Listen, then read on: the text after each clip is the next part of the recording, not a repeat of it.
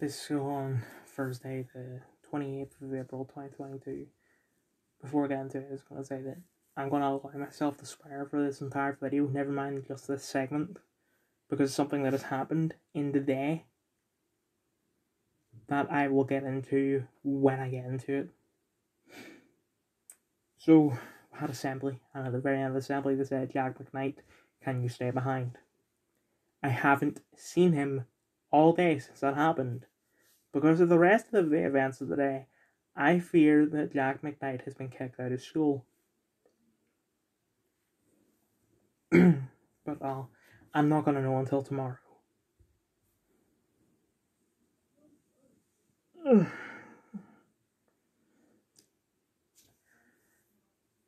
I'm trying to think of what's next. In fact, yeah, I think this part where I get into it. So the teacher for English said that, and it's possible that this was accidental because of what he said later in the day, but I don't know, and it doesn't matter because I felt the impact of what would happen if it were confirmed anyway. Like if, if you if you make someone believe that someone that they love is dead, right? They will feel the grief that they would feel if they were actually dead. So it doesn't matter if you actually reveal, oh yeah, uh, they're still alive. They will still have felt that grief. I'm not trying to compare myself to the victim of someone that has died, but I'm just trying to give you an. I'm just trying to tell you that it's irrelevant that it's possible currently is irrelevant. It'll be relevant tomorrow and from tomorrow onwards. If it's not, but I'm just gonna actually get into it. She said that we'll be doing the Handmaid's Tale. Problem with this is that I want to do Brave New World because one, it's based, and two, it is it's going to be good for the exam because it's based. You know, if I like the thing that I'm studying, I'm going to have a better time studying it than if I weren't. but despite that, I need to do Handmaid's Tale for a reason that I can't get into until year five because this is a problem that will should have started in year five. But because of this, it started today. I'm hoping it's a one time thing. I don't want this to be the rest of the year because that would mean that year four ended today.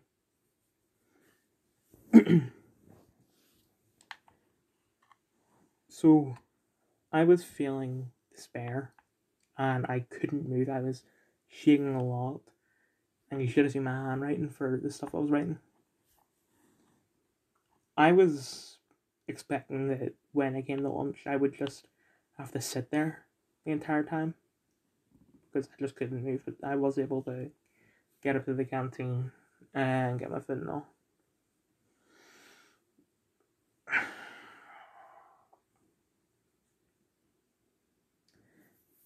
Um, but after lunch,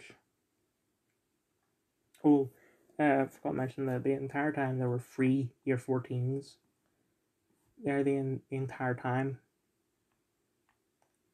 Um, but after lunch, the teacher said that what the year 14s are doing is far easier than what we're doing. Because they had they had it easier because of coronavirus when they were year 13 Like, what? Um, and uh, I forget what Miss said, the trigger this year 14 said. But year 14 said, no one cares about the year 13s.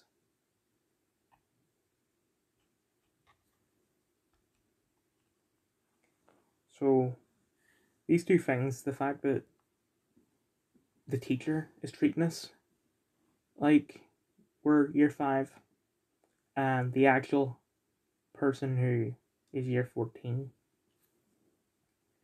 is saying that they don't care about us because we are an oppressed minority. Fuck you.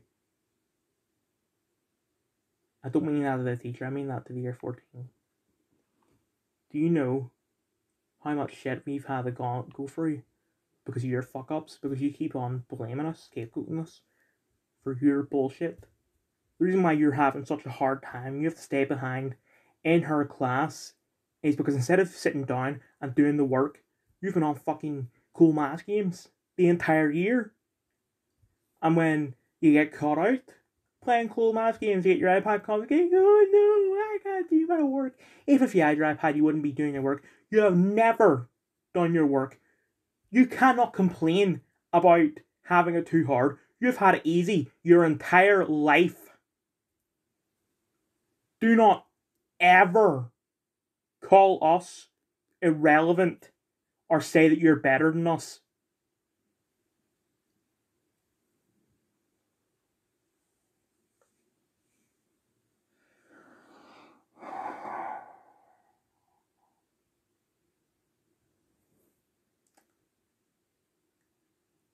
Surely that's that's the worst it could be, Dylan. Nope. There's more. Well, it's not worse than that, but still the fact that bad things kept on happening is bad. So at the end of the lesson there was some relief because Miss said that don't do the essay that was due tomorrow. Which is good because I haven't started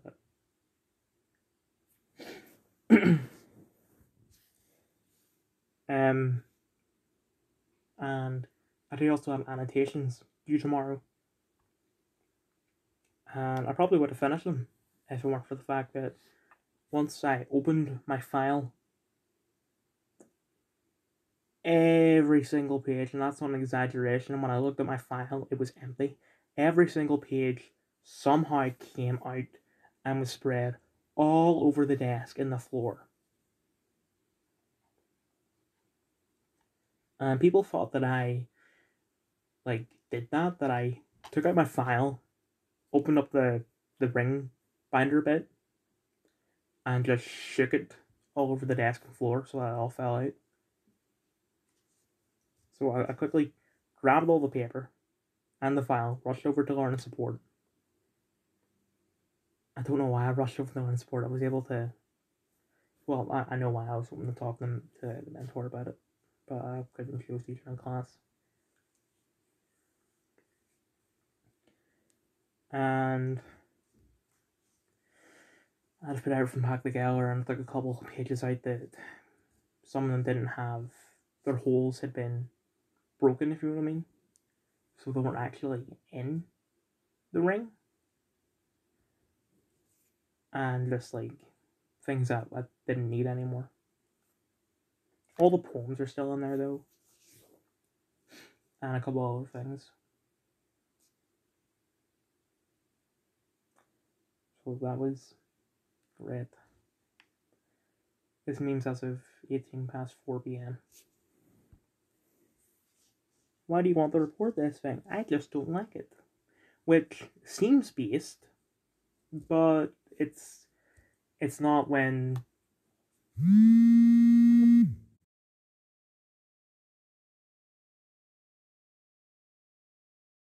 I was hoping to prank him, but he didn't provide me an opening.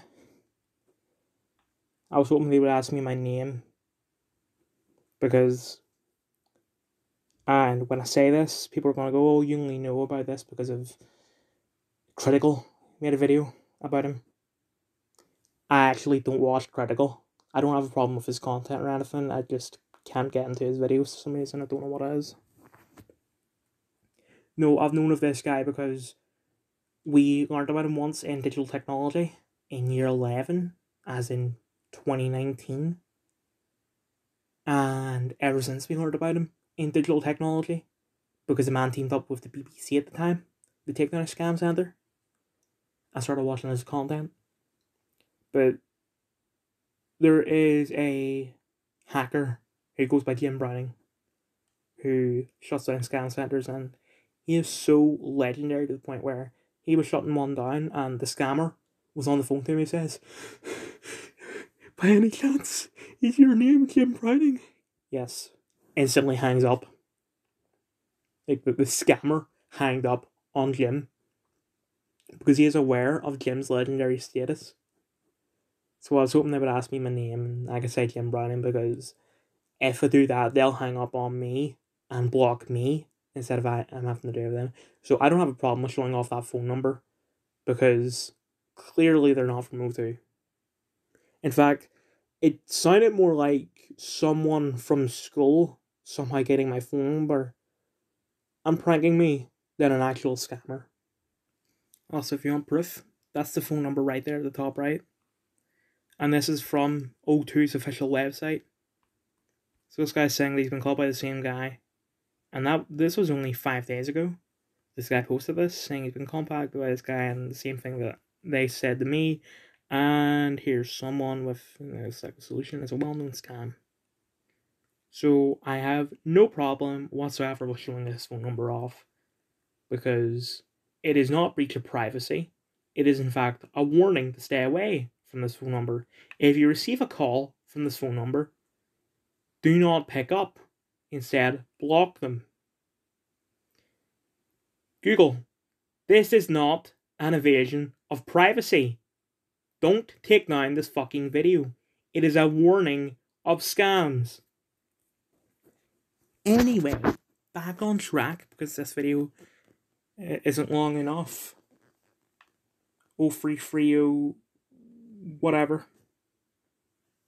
The I don't like it feature seems like the best thing until it happens to you because you posted uh, a photo of the Walking Dead comic or someone said something offensive. This DMs as of 26 past 4. I was supposed to show this yesterday, but McCubry liked one of my posts, and it's been a while since like something like that has happened, so I, I screenshotted it, sent it to McKnight, and said, "The fucking legend." But anyway, this is Twitter at the same time. It was fun being back on InfoWars. I asked him. He said if all the bands are left, that he'll be coming back. About to sneeze. Here's an example of what Twitter left wing, of Twitter's left wing bias. You have to take the context into consideration. Twitter's interpretation of the context is affected by the left wing bias. I would need an example of that.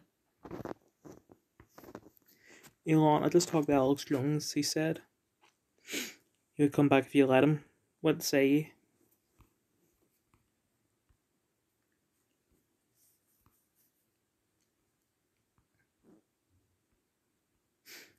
One of the ring, and on your opinion, I think most people will miss an aspect of blogging specific people on Twitter. Sorry, which is flaw blocking always stops the person from messaging you, but the replies are almost a public forum of your followers to block someone is to remove their access. Now, if they deserve access to this is relative or yet to be determined, but if someone is posting that ivermectin is crap, shit. A reply deserves to be seen with an argument that is effective in certain situations. If someone is blocked, that won't be visible in the replies. So, do you feel people should be able to reply to their tweets the way they wish to engage with? Either as a right or at least a moral code, I'd say it should just not be affected by the blocking action. Blocking and can just stop you from seeing anything that person blocked you does rather than also blocking on behalf of other people. I think checking the replies for a rebuttal, if there's one, getting a lot of likes is a pretty natural behavior for us internet dwellers. Blocking is too much power the kneecap that bit. When you separate that from the usual aspect of wishing to cease communication on your end. Need to ask again then. Does that mean people should always be allowed to give a rebuttal either as a right or a moral code? I think I'd say yes. I really have no desire to restrict anyone being able to say in the most public of ways that a specific comment, a rule, or statement is incorrect in even the slightest way. I mean, absolutely everyone should be allowed on Twitter so they can reply to the tweets then, since they have a right slash moral code to do it. Everyone from Alex Jones to Trump and all the others. I'm sure a majority agree with that, of which I'm included. There really are no legitimate complaints, and certain we can expect to see those bans returned soon. It is in the air. I'm also hoping so.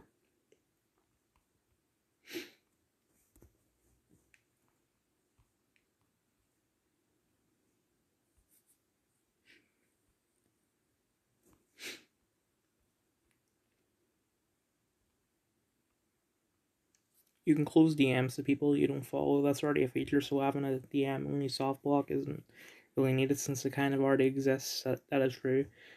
I I guess I'd just say my ideal block would be would block DMs to make it so I don't see any of their quotes or replies. But ideally, they should be able to reply, and other people can see the reply and decide to block or not on their own. That's the mute function. Yeah, the mute function does that. Some people do want a full block for various reasons sometimes no reason, but it's still completely up to them. Unless the tweet itself is considered a platform people should be able to reply to.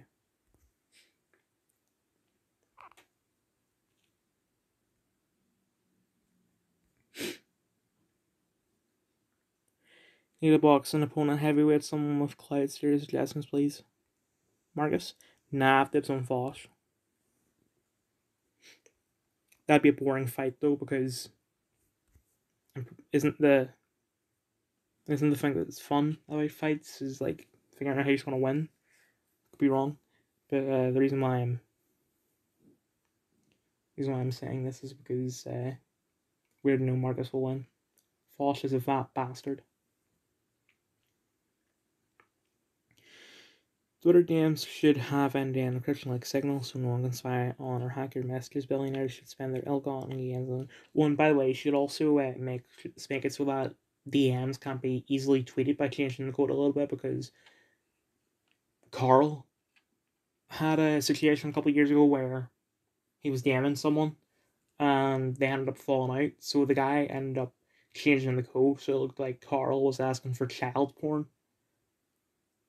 Uh, like the guy screenshotted uh this fake chant and said, Hey guys, Carl's a pedophile when really he's not.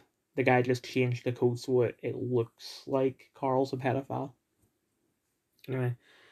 On racking things like poverty and disease instead of spending billions on vanity projects, Sack should get a job.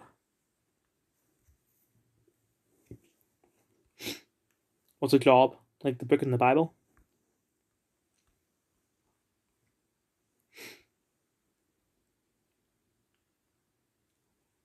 Fuck, sorry, I literally soon as I posted.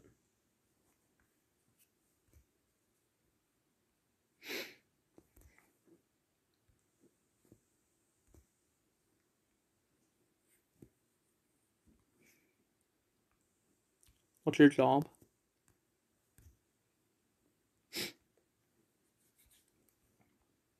That's a nice deflection to avoid admitting you don't even have one.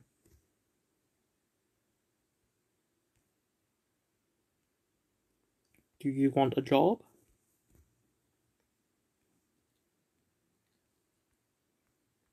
I can assure you it doesn't now. What's your job? Is it an embarrassing one? Must be since you won't even say what it is. Right, see over this uh, spamming mark. You seem like a bit of a prick and it reminds me of someone who just can't of it. Oh, it reminds me of it reminds me of Seth Rogen saying, "Are you Jewish?" So please cut it right, Mark.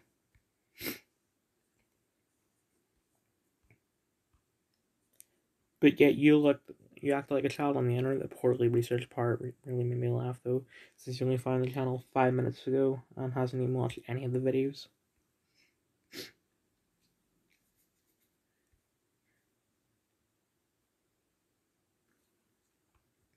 So saying I work as an IT tech with Doxy, I'm not asking for your social security number, address, and blood type. The fact you won't say is either because you don't even have a job at all, or because it's a really embarrassing job. Only reasonable explanations. Well, it could be an unreasonable explanation. It's possible. Elon Musk's net worth is 264 billion, tax the rich. In 2021 alone, the US government made $4 trillion in revenue. All this solved the world hunger, disease, poverty, stuff. They could have paid for it many times over. They just won't and never will. Take the hint. Another point America's military spending in 2021 was $801 billion, almost a quarter of its total revenue. So it could all. It's world's police bullshit. So by advocating for more taxation and funds war machine, technically you're advocating for violence. People are seething at this, bro. You literally make YouTube videos. Yeah, it's not a real job, Mark. Like when when you're a politician, then yeah, I would say I don't know where you are. I'm, I think he is now still, but just on a different party. So never mind. But yeah, YouTube is not a job. Anyway. Yes, I get down to close to a million big PP clans that describe my channel of my job. Go to sleep, Mark. It's 2 a.m. I'm libertarian this time. A fucking bedtime. Fucking fed. Looks like they've found the culprit. Okay, that's actually funny. I don't get the joke.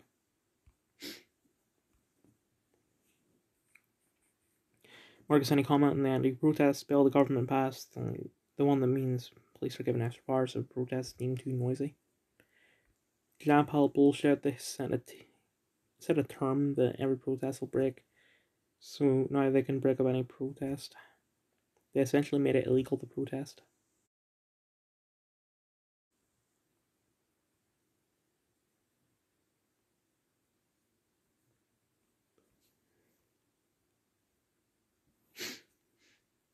I agree. More talk about Partygate because there's not even worse things that Boris Johnson has done. That if you're going to kick him out, kick him out over that instead of the fact that he's a hypocrite. You, you pricks.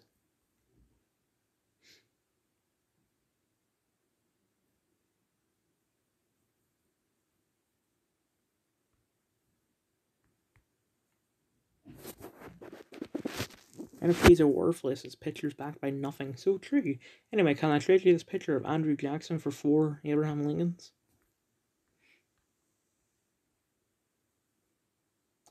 Right, here's what I, I, I would say. In real life, they mean nothing.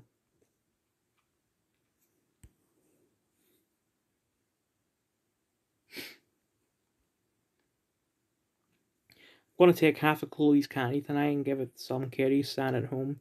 It's never too early to teach her about socialism. Coming from Donald Trump, oh, you're trying to teach her is evil. Why don't you grab her by the pussy and teach her about her grandfather? Now, Donald Senior Senior said, you know, he said grab her by the pussy. He didn't actually grab her by the pussy. You pussy.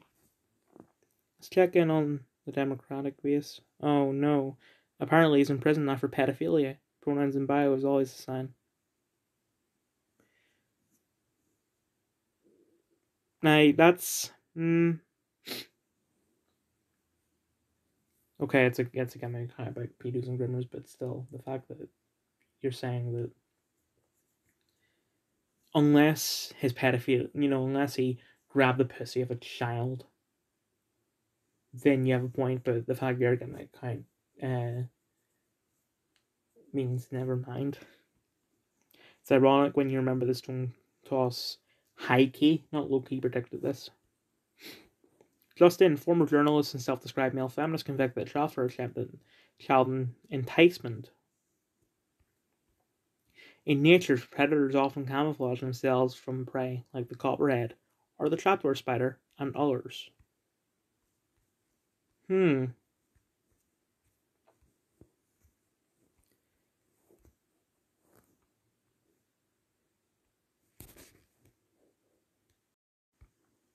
And that guy that was just talking there is like only shit out of the libtards. That is the ghost of Kiev. Samuel Hyde is an American comedian. Sam Hyde is the guy that is in the photo of who is supposedly the ghost of Kiev. Never meet your heroes.